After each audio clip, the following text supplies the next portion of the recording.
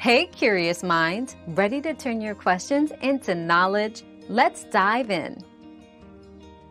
Bats emit cries through echolocation, a sophisticated sonar system far beyond mere vocalizations. They produce high-pitched sounds that bounce off objects, returning echoes that inform them of their surroundings, prey locations, and potential threats. This capability enables bats to navigate and hunt with precision in complete darkness. The frequency of these sounds is often beyond human hearing range, making their cries inaudible to us without specialized equipment. We've quenched today's curiosity, but there's always more to learn.